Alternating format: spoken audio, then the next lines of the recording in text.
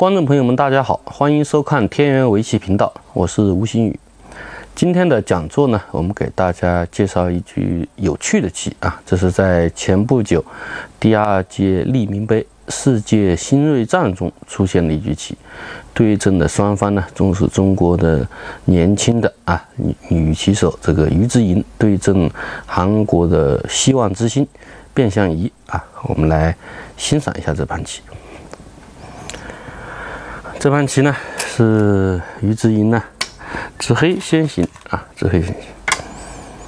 这个采取的相对啊来说少见的这个开局。这个双方呢在右上啊先走了一个大雪崩定式，这个是比较。普通的，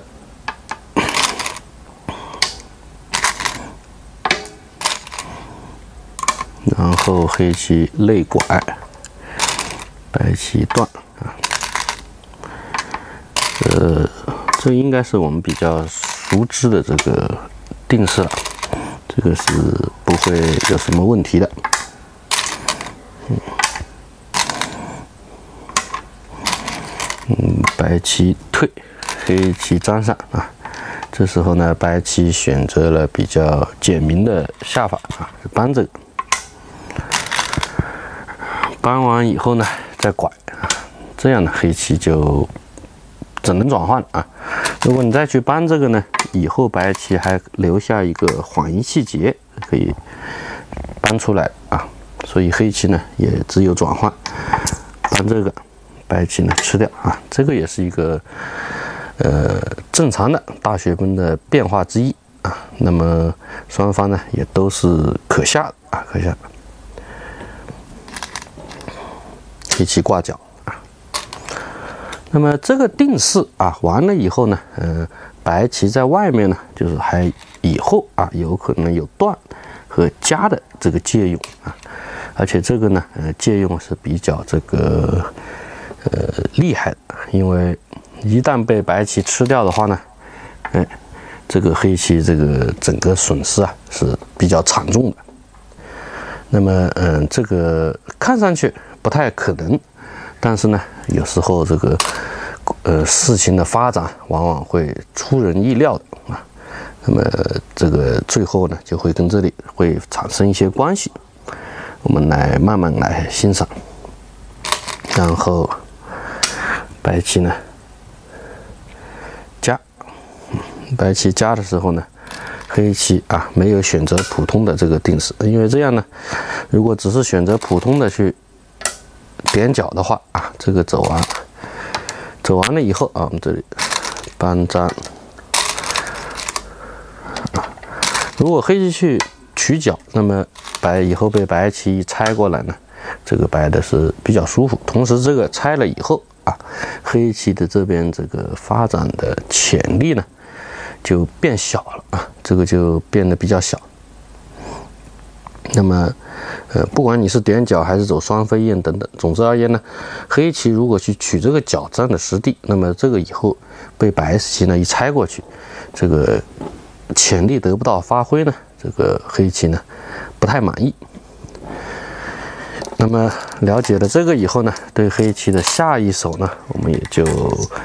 不会感到奇怪了啊！这个黑棋走的呢是直接逼入，哎，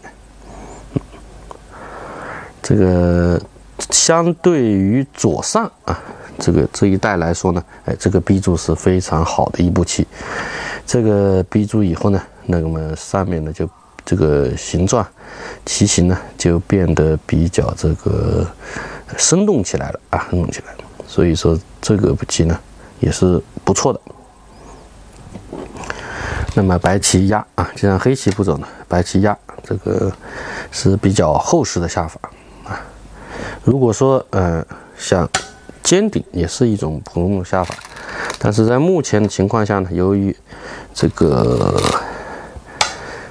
上方黑棋那个比较厚啊，这个被一飞过来的话呢，白棋出头呢不是很舒服。这个你并不不要去以为是白棋在攻击黑棋，那么这样一飞过来以后，大家可以看到，实际上呢，这个形状呢，这个是黑棋在攻击白棋啊，这个所以这个尖顶呢，现在呢并不好。那么这个时候呢，白棋选择压啊，这个是后世的，也是正确的这个下法。那么黑棋势必呢要搬起来，白棋退，黑棋啊拖一下，再粘上，白棋呢也就老老实实粘上啊。这个呢和单长相比呢也是各有利弊啊。单长了以后呢，这里少爬了一下，那这块棋呢相对是稍微弱一点。但是呢，呃，它的好处呢，就是以后呢，这个地方留有冲段啊，以后黑棋在作战出来以后，只要是这个断点补掉了以后呢，这里反而呢，以后会给这个白棋呢留下一个这个冲段，而如果这样的话呢，白棋这边呢就没有任何的毛病啊，这个可以说是各有利弊啊，各有利弊。这现在呢不是问题啊，那么接下来贴出来。白棋扳头啊，走得很，那么黑棋也搬，这个双方呢走得很强硬，战斗呢也就在这里开始打响啊，打响了。这个黑棋扳呢也是必然的一手啊，靠现在不成立啊，因为靠的话呢被人家一扳正好，你又不能断，那么再被白棋接上的这个子就受伤了。弯出去虽然也能出来，但是明显呢是一个鱼形啊，是一个鱼形，这个黑棋肯定不满意，他就，所以这个棋呢要搬，那么白棋当然也只有断啊，这个不能退让了，这个退让再被人家一虎这个吃掉就吃的太舒服了，所以白棋断，那么双方这一场这个。你死我活的战斗啊，就在这里呢，要打响。接下来呢，黑棋吃，白棋粘，然后呢，黑棋搬，白棋搬啊。嗯，下面这手棋呢，呃，黑棋选择的是立啊，这个形状呢，好像不是太好啊，不太好。应该普通一点的呢，这个棋呢是虎在这里啊，虎在这里。那么白棋打吃虽然是先手啊，那么相比于这个总是要粘上的啊，这个以后呢，那么呃和立相比呢，这样呢虽然是看上去往回呢退了一步，但是呢由于这个你立的话呢，人家粘上以后这个挡呢依然是先手。这个和这样相比呢，似乎呢，这个虎一个呢，要更好一点，更好一点。当然呢，于子英选择呢这个立呢，它是比较凶的下法啊，像，嗯，这个地方虽然你能挡住，但是呢，这个眼位呢并不是非常的好啊，所以还是把这个对白棋的这个攻击放在了这个首位。那么白棋自然只有粘上啊。黑棋长，这是先手啊，这是先手。那么白棋当然是要粘上，这个一打就真死了，打因为由于这个长是先手。然后呢，黑棋再跳啊，嗯，这个白棋这几颗子啊，看上去确实是有一些这个危险啊，有一些危险。不过这个现在年轻的小将啊，这个计算能力都是很强的，特别也都是喜欢实地，喜欢实地呢。反过来是也可以说呢，就是说这个自孤的能力也是很强的啊。白棋在这里呢，并没有这个害怕啊，并没有这个害怕。白棋呢，先哎打吃，然后。再立下去啊！再立下去，嗯，这个也是当初啊，我们说这个立的，嗯，留下的这个不舒服的地方，不舒服地方。这个黑棋的这个为了攻击白棋啊，本身目数很吃亏，很吃亏。黑棋这时候呢，也只有挡啊，也只有挡，因为你如果是不想他这个先手呢，但是这个拐和他的交换呢，本身是很亏的。这样以后白棋随时呢可以走这个啊，而你拐了以后呢，依然不能脱先，因为你脱先的话，白棋可以拐在这里把这个吃了，这个吃了的话，这几颗子也呢等于就是死了。所以黑棋也只有老老实实的挡住啊，挡住。那么白棋再一挡啊，黑棋吃这个局部呢，嗯，黑棋等于是活的是非常的这个委屈啊，活的是非常的这个委屈。嗯，因为如果白棋只要一活了以后呢，这个以后就是说等于是白棋打完再一搬。这个黑棋只能这样委屈的做活啊！这这个扳章等于是呢是先手，这个班这个黑棋的这个目数呢，反正是非常的小啊，非常的小。但是这个一旦外外面被活了的话呢，黑棋这个非常的委屈，所以黑棋必须呢这个从对白棋这外面这块棋啊发动猛攻啊，从攻击中呢获得这个。利益获得这个利益，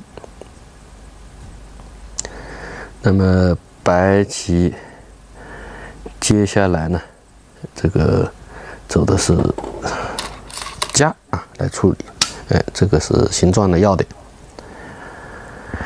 不能随便往下冲了啊！这个我随便往下冲的话，这个这边一挖一虎啊，这个白棋这个棋形呢就弹性就全来了啊！这个里面还有还有劫财。所以黑棋呢，嗯，粘上也是形状要点啊。那么，不过呢，这两个交换一下，白棋在立下来呢，这个呢，总还是便宜了啊。至少是把黑的这个形状搞得不太好啊，破坏一下黑的棋形。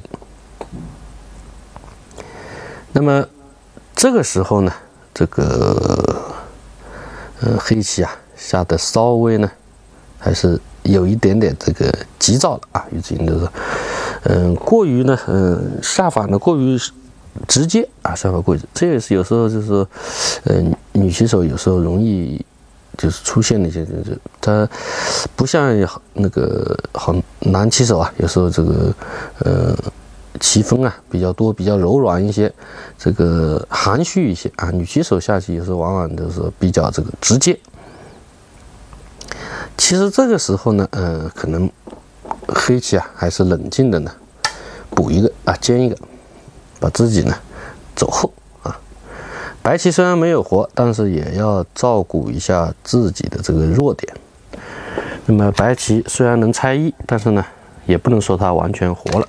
那么黑棋先镇住啊，把这个白棋封锁进去啊，先确保呢这个上面的这个实地呢，呃。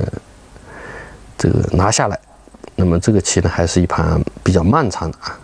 虽然以后我们说了白棋有收瓜，但是本身呢，白棋自己呢，先得在这里一带呢苦活啊，先得在这一带苦活。这个棋局呢，还是比较漫长啊，比较漫长。那么这个时候呢，黑棋走的比较直接，他直接就冲啊。这个冲呢，呃，冲完了点。这个是看上去很直接，也是呢，这个非常的凶啊，非常的凶。他希望呢，这个白棋呢，这个粘上啊，这个当然是黑棋所希望。那么呢，他回头再补呢，那这两个交换呢，可以说就是说是明显的这个便宜了啊，便宜了。那么白棋。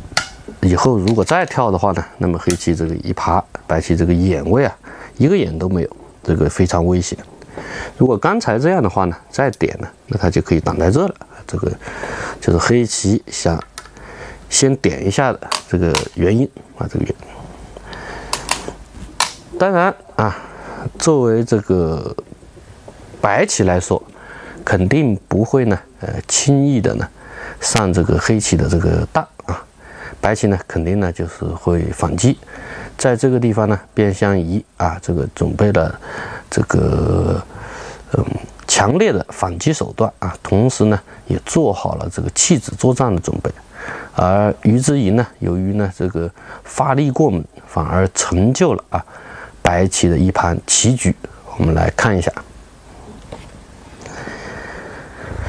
我们刚才说呢，一直要补强啊，这个这时候呢，这个你再点的话呢，他肯定呢就不会啊，这个答应你，白棋反击飞出来。那么呢，这一飞出来以后呢，这个棋啊，这个黑棋啊，有点动弹不得，突然意识到。因为黑棋啊，眼睁睁看着，似乎我要我要这个冲，是吧？要分段你。那么这样的话呢，白棋就简单的一退即可，啊，可以简单的这个采取弃子。黑棋断啊，现在虽然是这个，嗯，快了一气。啊，快了一些。不过呢，白棋可以啊，简单的把这个走掉啊，便宜走掉。然后呢，由于打吃是先手啊，这个地方黑棋不好反击，就简单的弃子啊，或者靠一下再加也行，就是反正就这个意思啊。你收气，那么呢，白棋就收住。这样黑棋虽然吃了底下这些子，但是白棋这个。这个都是先手啊，通天的这个外势在这里随便呢补一手，白棋这个外面的模样啊，这个几乎都快成实地了。这个黑棋吃这点呢，肯定呢是不好的啊，不好的。由于这个白棋呢拥有这个气质的变化啊，因为你长的时候呢，黑棋也不能走这个，走这个呢，它可以啊跳夹在这里，这个黑棋也是很难办啊，很难办。所以白棋啊一反击的时候，黑棋一看呢，弃子呢不行，呃不能冲断它，那么只能呢临时改主意啊该注意，那就只能是先断掉啊，先把这两颗吃了再说。毕竟吃了这两颗，看上去呢目数收获呢也非常的大啊。不过当然呢，白棋是还可以的。现在白棋啊，很明显的，最简单的就可以连回来啊。这个头出来以后，黑棋由于这两颗子比白棋还要弱啊，这个黑棋可以说是反过来可以攻击白棋了。但是呢，呃，变相移呢没有选择这么个简单的这个下法啊。如果这样的话呢，可能黑棋干脆啊，完看，这里都不管了，先把这个空呢围起来再说。啊，黑棋有可能改过来呢，采取先捞后洗的这个策略。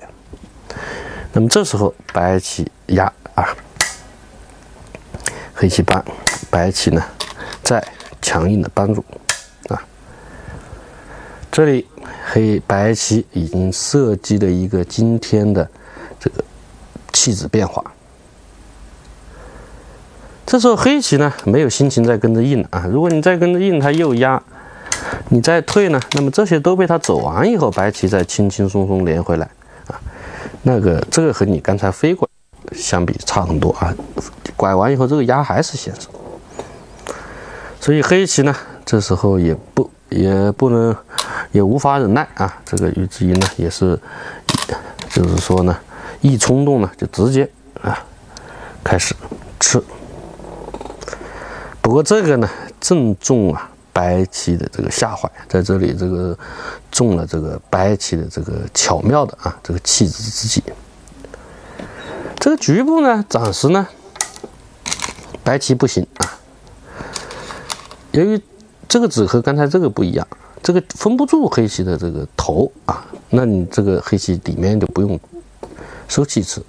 而作为外面来说呢，由于黑棋争子有力啊，这个呢也不能。打不死这个黑棋啊，黑棋这个争执有力，而你只是去提掉这一颗子的话呢，那这个被他吃了呢。由于外面封不住头，白棋虽然拔朵花呢，但黑棋毕竟吃了这么多目，还是很实惠的啊，还是很实惠的。不过呢，这时候白棋早是胸有成竹啊，哎，这时候再一断，这个大家能看懂这个意思了啊。这个呢，刚才由于这里有针子，这个断呢有引引针的作用啊，引针作用。嗯，这时候黑棋啊就要小心了。如果直接吃掉，由于这个是先手，那么呢，呃，就已经呢被这个蒸死了啊。这个冲了一段，这个黑棋不行。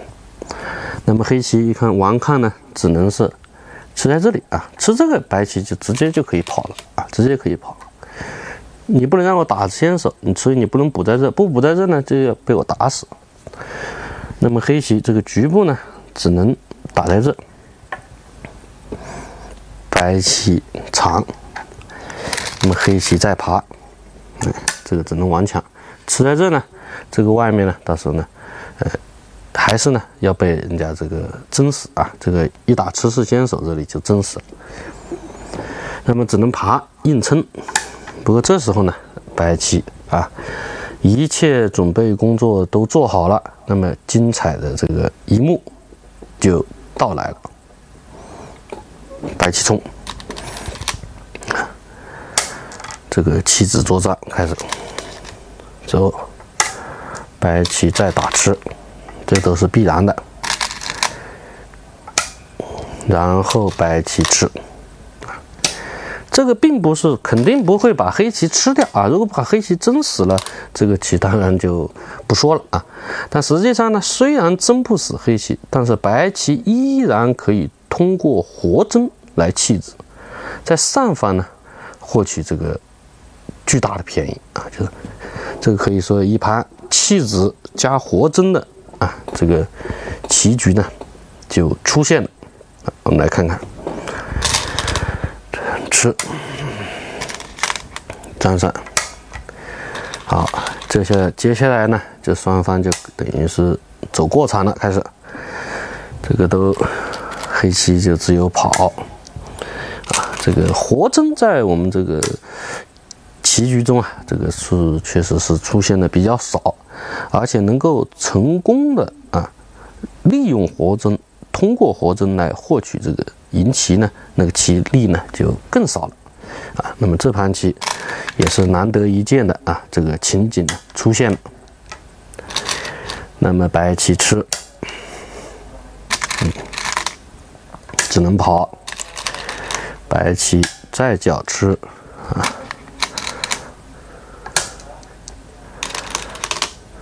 走，黑棋只能是跑，白棋叫吃啊，黑棋跑。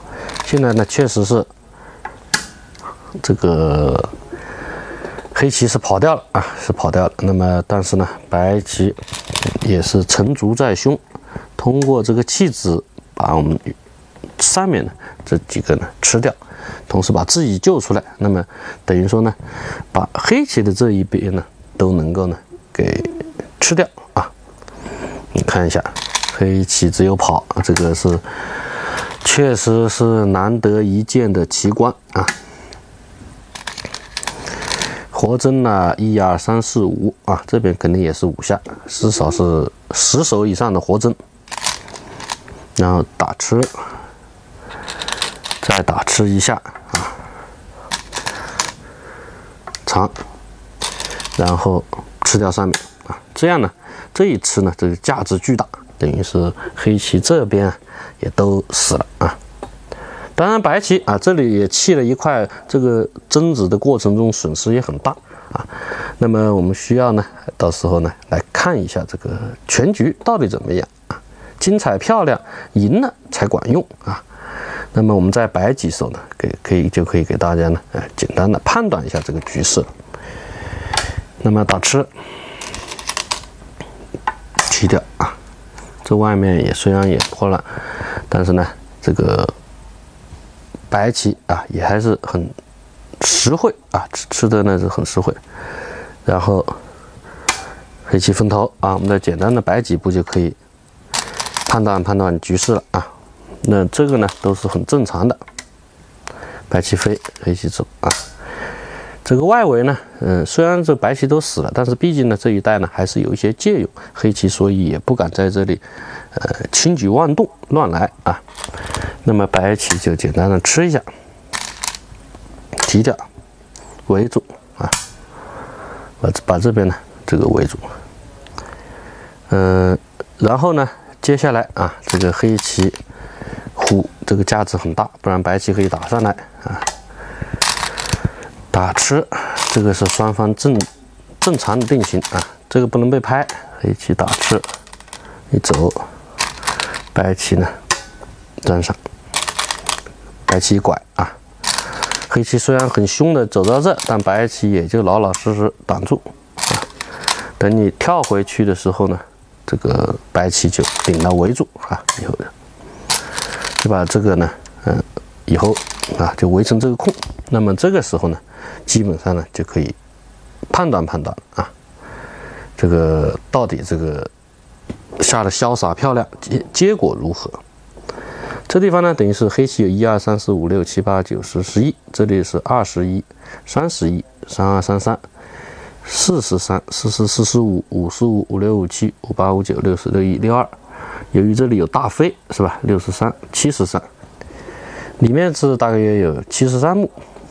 这外面啊还有不少，以十目棋这五个字，十一、十二、十三、十四、十五、十六、十七、十八啊，十七目棋就是九十目棋啊，九十目棋，这里再加一点，不到一百目啊，不到一百目棋。那么作为白棋来说呢，我们看看啊，一二三四五六七八十八十九二十二一二二三二四二五三十五。四十五、十六、十七、十八、十九、五十一、五三、五四、五五六、七五八、五九六十这个班组啊，七十、七十五、七六七、七八九、八十二、一八三、八十五是至少的，这九十五、九六七、九九一百啊，这个已经呢至少呢也有一百目棋了。那么呃，由于中间啊这个白棋还有一些借用，包括这里刚才算十目呢，还有这个打入的味道啊，这个应该来说呢还是这个是白棋啊。明显优势啊，明显优势也是这个，至少来说也是一个盘面啊的胜负。甚至于来说，白棋盘面呢可能还会好一点点。当然了，盘面的胜负对于这些呃职业的棋手来说呢，应该差距啊是相当的大了啊。等于是白棋盘面胜负的话，就等于拿黑棋是盘面这个十五目了啊。这个差距呢，对这些。职业棋手来说，还是非常的大啊，非常的大。因为这个死了以后，等于说，你看，我们来再看几步实战的借用，这个一跳啊，这些石子还是有用的，不能被搬，黑棋得跟着走，是吧？那么白棋再一贴，这黑棋跟着走，然后再冲断，让你难受一下啊。这个黑棋还得硬。那么呢，黑棋目数没什么增长，白棋。有了这些子以后呢，也有收获啊，甚至于以后这个打入呢，也会变得非常的严厉。那么这个棋盘面胜负啊，甚至于说盘面白棋都好，那么可以说这个棋白棋胜势已定。白棋也就是通过弃子，通过这个活针啊，难得一见的这个活针，吃掉上面这个以后形成的这个转换呢，也可以说是奠定了这个。本局的这个胜势啊，最终呢，这个直白的变相移呢，也是中盘战胜了这个于之赢啊，于之赢。那么这个棋啊，这个是可以说是在双方的这个配合之下啊，也应该说这个呃于之莹这个配角的这个功劳也是非常大啊。结果让白棋走出了漂亮的弃子加活针。然后转换完以后，确立了这个胜势。这个棋呢，呃，反壁，呃，变相一赢得非常高兴，但是于子赢肯定输的也是非常的郁闷。不管怎么样，都是一盘非常有趣的棋。好的，今天的棋局呢，我们就大家介绍到这里，谢谢大家收看，大家再见。